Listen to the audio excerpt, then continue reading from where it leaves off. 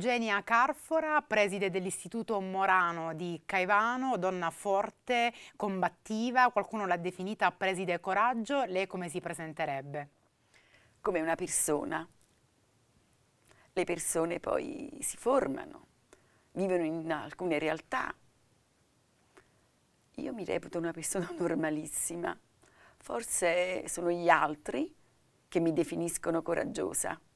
Ognuno di noi ce l'ha il proprio coraggio e a seconda poi della propria indole, della propria capacità di essere attivi nella città, diventa coraggiosa o meno coraggiosa, ma sicuramente di contributo alla società. Partiamo dalla terra dove lei vive e dove lei lavora, Caivano. Caivano, Parco Verde, terra dei fuochi, terra di abusi e di violenze. Tutti ricordano il caso della piccola Fortuna, la bimba che a soli sei anni fu scaraventata dal balcone del suo palazzo per essersi ribellata all'ennesimo abuso su eh, di lei. Parco Verde, siamo al nord di Napoli, Parco Verde non per la natura, verde per i palazzoni che furono costruiti subito dopo dopo il terremoto del 1980. È un quartiere che è stato definito la nuova Scampia tra le piazze di spaccio più grandi d'Italia. In un posto così forse la scuola rappresenta l'unica possibilità di salvezza per i ragazzi di Parco Verde? Io ho scelto quella realtà. Non vivo a Caivano, ma ho scelto di dedicare gli anni della mia vita ai ragazzi. Quando volli andare in quel luogo, sapevo che c'era un contesto molto forte, pesante, ma l'idea di andare a lavorare in una scuola lì mi dava una carica incredibile perché intanto in precedenza mi ero occupata della possibilità di aiutare le strutture a lavorare per la dispersione scolastica, ma io mi volevo vedere proiettata al fare. Nuova Scampia, io dico che è un luogo è un luogo dove si consuma di tutto e anche in un luogo, anche il più bello, New York, altri paesi del mondo, possono essere eccezionali e possono in silenzio vedere cose incredibili. Io ho scelto quella realtà perché dove ci sono i bambini bisogna avere il coraggio e la forza di aiutare gli altri. Aiutare l'altro significa rendere umano sempre di più la persona. E quindi per me è stata una, non una sfida, un, qualcosa di magico. Sono arrivata e il tutto è apparso incredibilmente abbandonato, ma io subito ci ho visto qualcosa di più. Addirittura durante i lavori avete ritrovato una pistola sotterrata in una aiuola di fronte alla scuola, una parte della scuola era stata anche occupata abusivamente, documenti ammassati o meglio buttati per terra che lei faticosamente ha dovuto prendere e ricostruire anche diciamo una, un iter burocratico, ma che cosa eh, con coraggio, ma che cosa l'ha spinta soprattutto a, a fare tutto questo? Quando scelsi di andare a Caivano, in una scuola del Parco Verde, io fui individuata tra le vincitrici del concorso del primo ciclo, dove c'era una scuola dell'infanzia, una scuola primaria, una scuola secondaria di primo grado, ex scuola media. È lì che ho dedicato energie incredibili perché le, le scuole erano bellissime, le strutture straordinarie e l'abbandono che era incredibile. Per cui io non ho costruito la scuola, io ho riordinato la scuola. E in questo riordino io trovai la pistola, bossoli. Ho trovato tanta gente che veniva lì a depositare l'immondizia, telecamere. E quello che mi faceva più male era l'indifferenza. Tutto si svolgeva in un silenzio incredibile, per cui non come preste, come donna, come persona.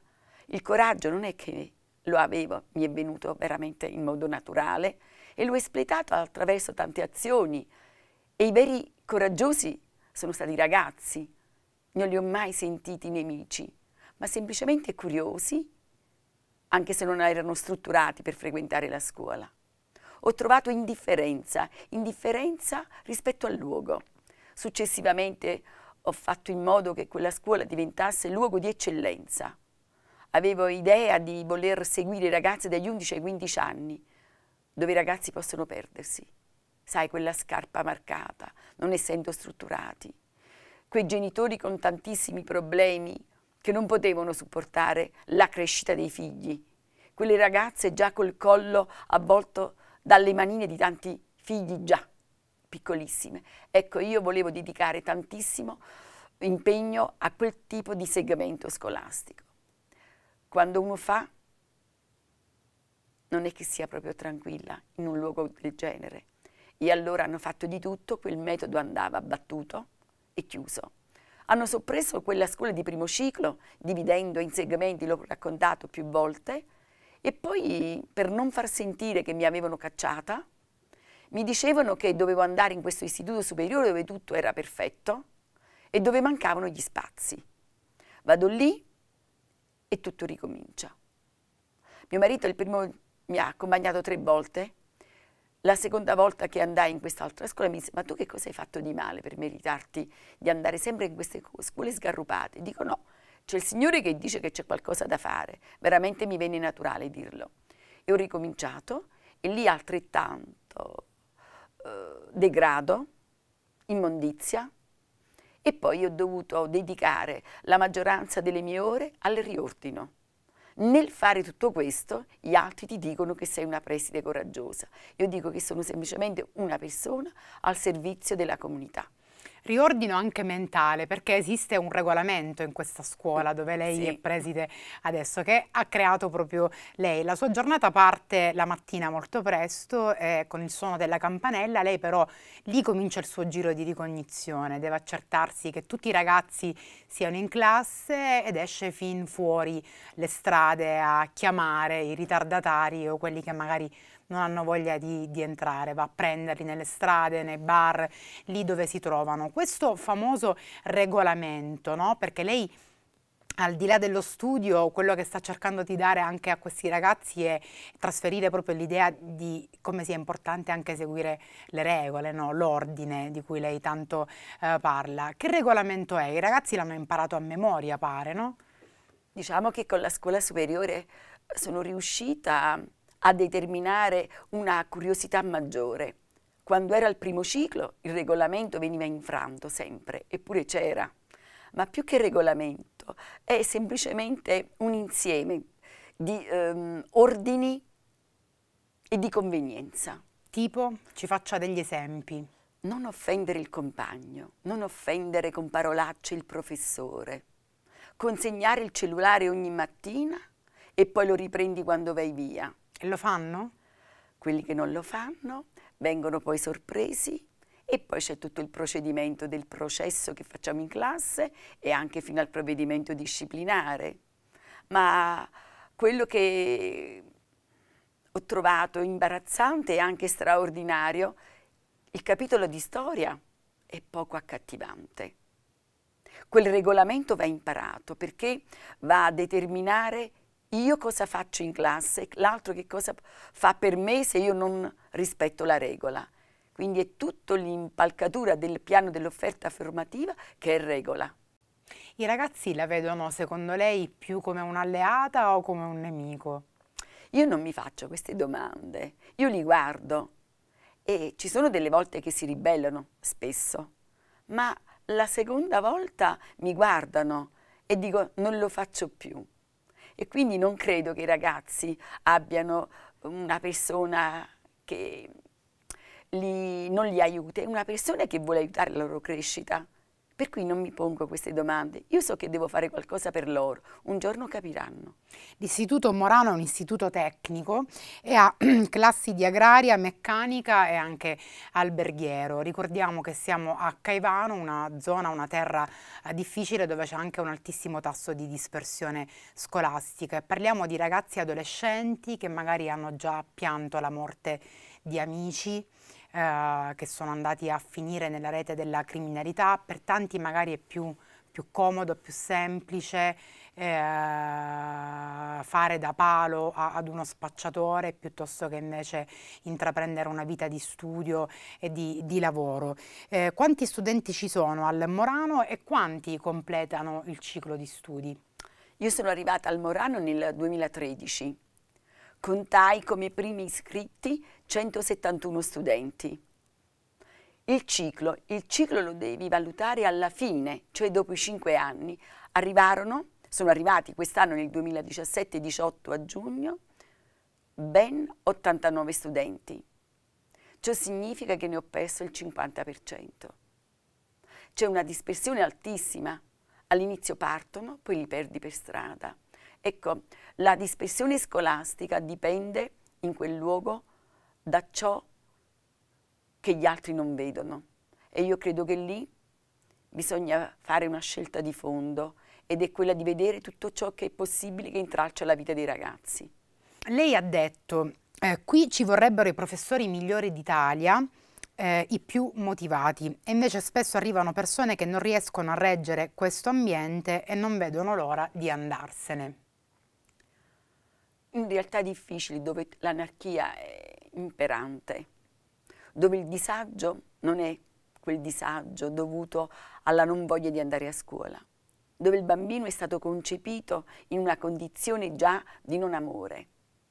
Tutto questo viene assorbito dal ragazzo e lui reagisce con delle modalità che l'altro chiama disadattato. No, quello è un, un, ragazzo che non ha mai avuto il piacere o quella carezza che lo potesse portare avanti e potesse far vedere nella scuola il luogo creativo della sua mente. Ecco, in tutto questo ti arriva l'insegnante in un luogo come quello, dove casomai è, è venuto lì perché ha pochi punti per mettersi nel circuito della scuola.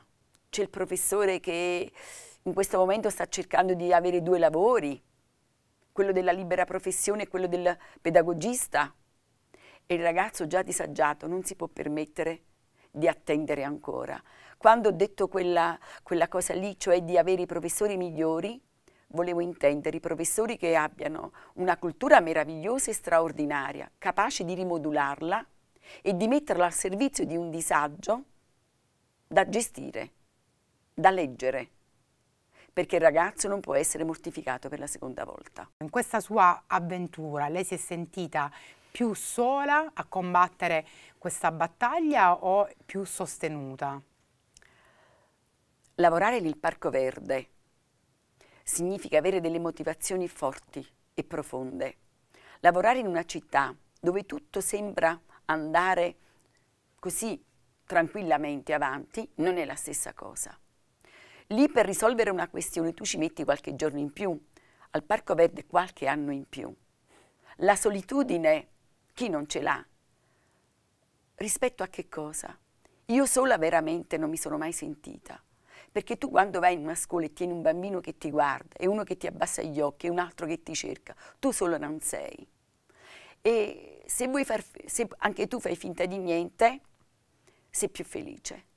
Nel momento in cui tu cominci a vedere cose che non vanno, devi fare una scelta e in quel momento devi essere pronta a soffrire. E io sono pronta quindi quella solitudine molte volte l'ho sentita e la sento ancora tra i colletti bianchi, tra quelli che non immaginano che la scuola è veramente l'agenzia educativa per eccellenza della nostra nuova società. Prima c'era la famiglia, sociologicamente, e la famiglia, i ragazzi ormai vivono tra la scuola, il telefonino, molte volte la strada e poco poco in famiglia. Ecco che la scuola diventa quella mediazione quella forza incredibile della società che deve superare questo momento del non sentimento. Invece, secondo lei, i ragazzi di oggi la scuola come la vedono? Oggi a scuola vengono fuori tutte quelle che sono le ansie, le solitudini. Ma riconoscono, secondo lei, a Caivano in particolare la scuola come una possibilità di salvezza per loro? Lei, dalla sua esperienza, che cosa ha capito? Io difficilmente ho visto all'inizio che i ragazzi eh, venivano contenti a scuola. Io li vedo tristi. Poi nel mio, nel mio istituto, io dico nella mia oasi, cerco di stimolarli, sensibilizzarli e ho visto tanti sorrisi. E quei sorrisi sono per me la mia forza. E con i genitori invece che rapporti ha con i genitori di questi ragazzi? I genitori sono i genitori dei miei ragazzi e a modo mio li voglio bene come i miei ragazzi. Loro me li affidano, io con loro devo cercare un'alleanza, molte volte è complicato perché io vedo che loro avrebbero bisogno della mia carezza, del mio ascolto molto di più. loro si trovano ad affrontare delle cose abbastanza dure. Io ho a che fare con tanti genitori che non hanno il lavoro, tanti genitori con delle storie incredibili, tanti genitori o monogenitori che hanno i mariti, anche le mogli in carcere, sia donne che uomini, e ho tanti genitori, delle belle persone, che non hanno particolari problemi, ma sai, nel vivere lì la contaminazione è forte e tu devi essere brava, e non lo so se lo sono, a far comprendere loro che la scuola potrà salvare i loro figli. E questo è un pochino più complicato. Lei addirittura va anche nelle case, no? è andata anche a svegliare i suoi studenti, quelli che magari preferivano rimanere a dormire piuttosto che entrare a scuola. Quindi immagino che comunque anche in questo, no? in questo che è un atto quasi intimo, no? immagino che abbia avuto comunque la riconoscenza di, di tante famiglie e di tanti ragazzi. Avere una bella scuola, ho detto più volte, e non avere i ragazzi a scuola. Suona la campanella e molti ti mancano e quel ragazzo che non viene nel mentre tu lo segnali, poi vediamo la procura, i sociali, i servizi sociali, quando arrivano e come arrivano, fu un momento di disperazione qualche anno fa, mi ricordo all'inizio nel 2007, era il mese di dicembre, ero disperata quella mattina, i professori non vedevano l'ora di andare via perché non c'erano i ragazzi. Io scesi per strada, io camminavo, pensavo cosa faccio. Fu un momento di una cosa istintiva nel vedere una delle mie alunne al balcone che mi guardava. Scendi! E allora queste mamme che si affacciavano. E quello che mi rimarrà sempre nel cuore, una mamma. Vieni sopra, non si vuole svegliare mi fece entrare nella camera da letto e in quel letto non c'erano due, due ragazze, c'erano tre ragazze, chi alla scuola elementare doveva andare, chi alla scuola media, l'altro piccolino disse ma che ci fate qua? E a me piacque l'idea che la mamma voleva aiuto. Quindi quell'intimità io l'ho infranta, ma è stato un momento magico e quindi mh, non provo soggiozione, né loro mi hanno mai chiusa la porta. Certamente quando a volte me l'hanno chiusa, non in modo fisico, ma simbolico, perché loro non ce la fanno. Ecco perché il coraggio, se uno ce l'ha, lo deve tirare fuori e donarli, donarlo a questi ragazzi. Qual è il suo più grande desiderio per uh, i suoi ragazzi? Di padroneggiare il loro pensiero, il pensiero va accompagnato, insegnare a loro a pensare e questo pensare deve fare in modo che quella cittadina un giorno deve e può diventare la cittadina d'Italia. Che cos'è che manca secondo lei alla scuola oggi come, come sistema, come strumenti, come modalità proprio di, di insegnamento? Un po' di educazione ai sentimenti, ci sono tantissimi ragazzi, anche giovanissimi, eh, in lista d'attesa per una cattedra, per eh, avere un posto da, da, docente. Secondo lei un consiglio, al di là dello studio, al di là delle regole, al di là della preparazione, che cosa deve avere un professore davvero per riuscire a creare un vero rapporto con il proprio alunno? Io dico che chi vuole immaginare di eh, realizzarsi come professore deve prima di tutto fare i conti con se stesso, con il proprio cuore, di avere un grande cuore e una lucidità mentale straordinaria.